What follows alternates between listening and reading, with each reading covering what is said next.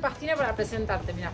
Es el color ópalo de Clauco. Es un color que no es tan habitual que lo utilicen, por eso me parecía bueno mostrarte cómo queda y hacerte un videito donde yo tengo que empastinar una flor que está en unos tonos que creo que va a quedar ideal este color.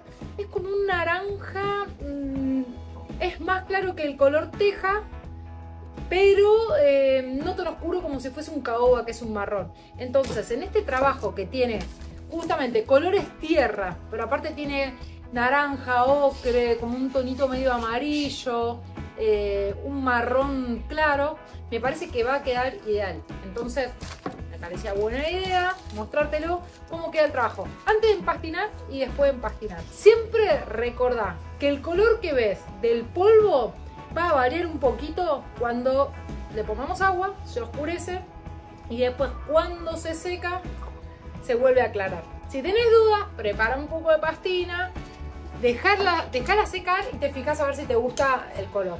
Siempre que sea un color más oscuro, lo puedes cambiar. Si no te gusta, por ejemplo, hacemos este, no me gusta, si yo quiero empastinar con un color caoba, lo puedo hacer. Entonces, este color, que es una especie entre como si fuese ocre con un poco de naranja, eh, bueno, es un color difícil de definir.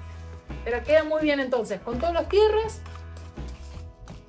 con los naranjas, con beige y marrón. Si haces un trabajo beige y marrón también te puede quedar bueno este color.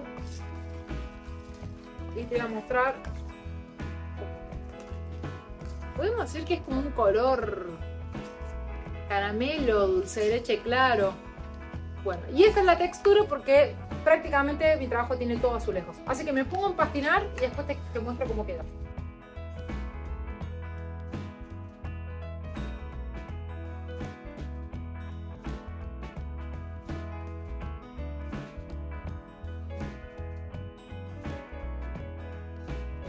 Acordate que para que la pastina penetre bien en el espesor de los materiales tenés que hacer con la espátula para arriba, para abajo, para el medio, en diagonal, en todos los sentidos.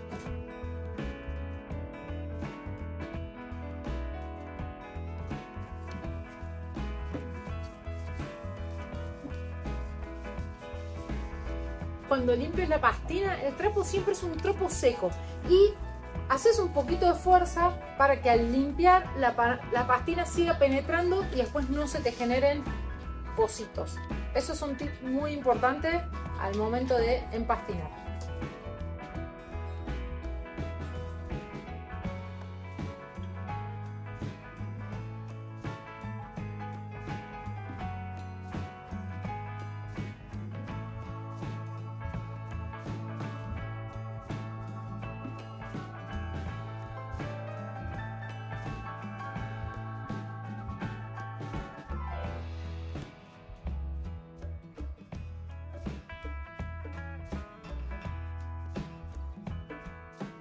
Ya quedó empastinado esta flor espectacular con el color ópalo de Claucol.